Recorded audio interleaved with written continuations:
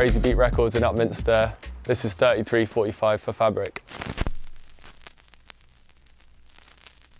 So I was introduced to Crazy Beat by my pal Alec Falconer. I think he'd been coming here for years prior. He lived, grew up not too far away. Yeah, we came down here before we were playing a show together in London um, years ago now.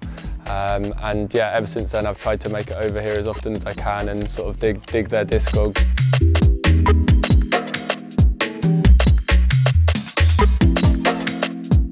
Think anyone in their right mind would have to pick out a record with that centre label, just in case.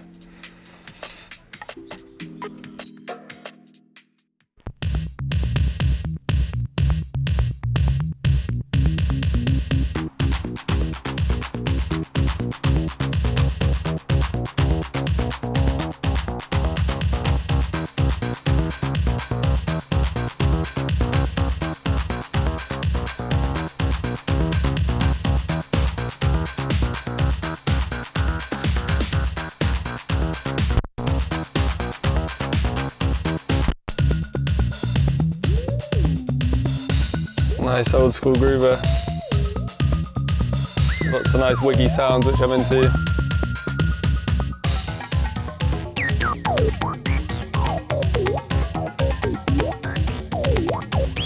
Yeah, I think there'll definitely be room for that in the collection.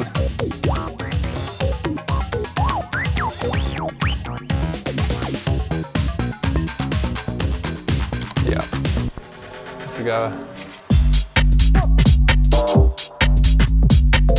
I think artwork and aesthetic of a record is very important when, I mean, you know, sometimes you'll go through and you'll find a particular record you're after, but that's not that common really, I think. It's usually you're looking to discover new things and I think I'm always drawn in by a white label with a little scribble on it because, you know, you just never know what's going to be on there. Sometimes you just pull out uh, a record, you've never heard of the artist, you've never seen the label before, like you, th there's nothing familiar on there, but you just know that's going to be, you know, for some reason you know that's going to be a belter. And then more than, more than often it is. Generally, I'm looking for, you know, either an artist that I've heard of, a label that I know, but if uh, other than that, just like an artwork that catches your eye, and always a white label for me. That's that's always going in the pile. no idea what this one is. Absolutely no info. Let's see what we got.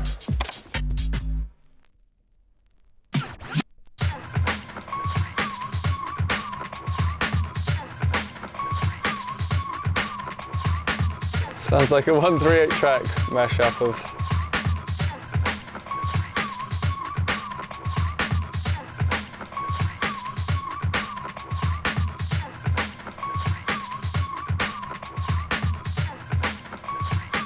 What's it gonna be?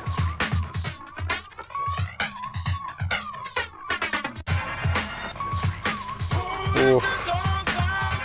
There it is.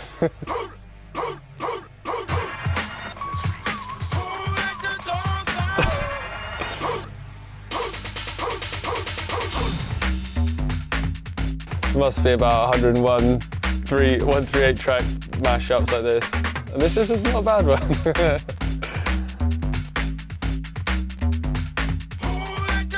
For three quid, it's worth having in the collection, I think.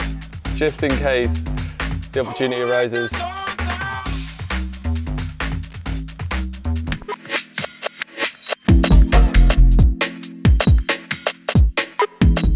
So memory of, of playing Fabric would be um, last time actually playing in the um, new and improved room 2 which is just I think one of the one of the best rooms for music definitely in London and beyond. Yeah I remember playing um, Dougie at the Oki by Big Hair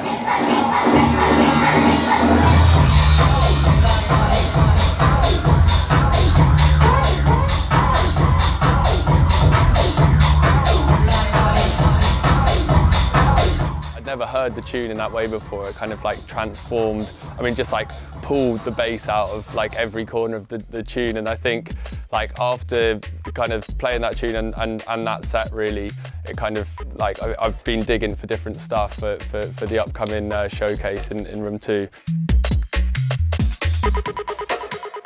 This is one I picked out um, found some really nice bits on Honeybeat Records before, which is, um, I believe was run by DJ Ride.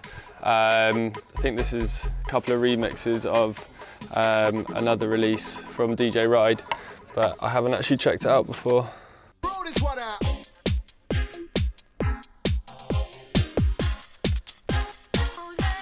The remix. The remix.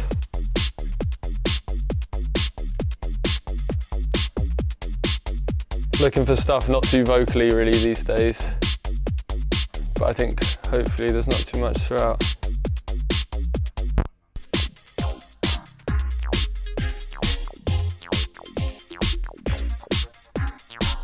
Yeah, it's always got pretty interesting productions, DJ Ride.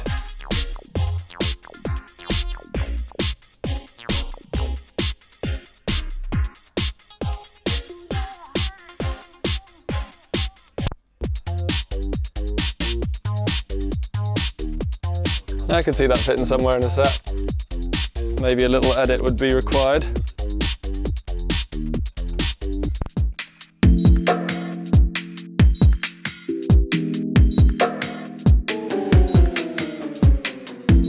Two real rare finds that I found in, in, in one sitting was um, at Container Records in Brixton. Had a listen to a handful of them and I was noticing all the ones with like a little E written on were, um, were absolute belters basically. So uh, one of them was the Feeling EP um, by Big Fat, I think the, the, the artist was.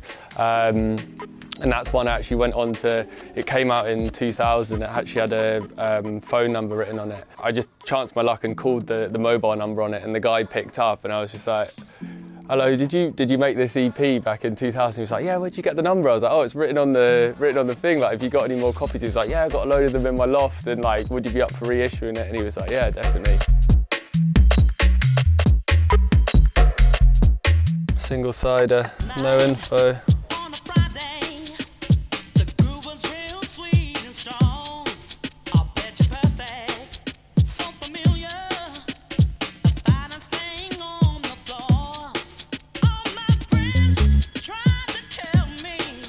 Just a little mashup.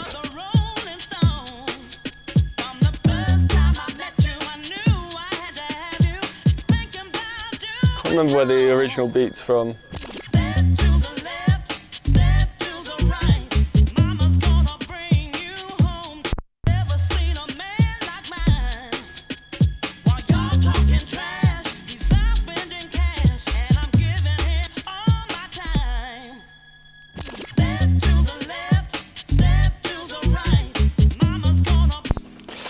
Yeah, it's, I have looking for less vocally stuff these days, although I do like the odd sort of like, you know, just like a nice classic vocal overlaid over a, a garage beat, so that could work.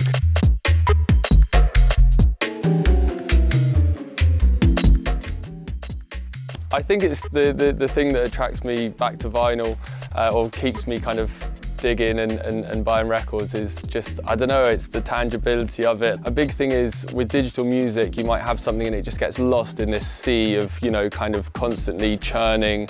Uh, you know, like the, I'm constantly getting sent demos and, and, and, promos and you know you've just got this kind of like massive body of, of, of digital music which I think is important to have but um, but stuff just gets lost you know whereas with a record you know it's there like you know when I'm digging through to pick out pick out uh, tunes for a, for a show, like I'm going past it, remember, oh, I remember that, I just, I want something you can hold, take it to bed, like just, you know, yeah, I don't know.